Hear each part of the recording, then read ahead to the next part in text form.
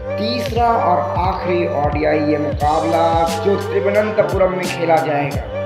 ये मुकाबले में क्या भारत जीतेगा और क्या तीन शून्य से श्रृंखला में आगे अपना दबदबा बनाएगा।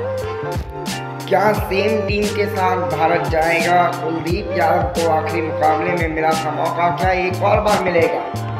क्या कोहली का बल्ला शोर मचाएगा? क्या रोहित सुपरहिट हो पाएगा? अक्सर का भी जादू चलेगा, हार्दिक भी रन बनाएगा। क्या क्या होगा ये मुकाबले में?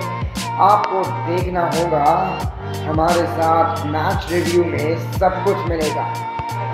कौन जीतेगा ये मुकाबला? आपको क्या लगता है? आप नीचे कमेंट सेक्शन में लिखकर ज़रूर से बताइए। अभी के लिए सिर्फ़ इतना ही। अगर आपको वीडियो अच्छा लगा तो लाइक शेयर सब्सक्राइब करना ना भूलें। धन्यवाद।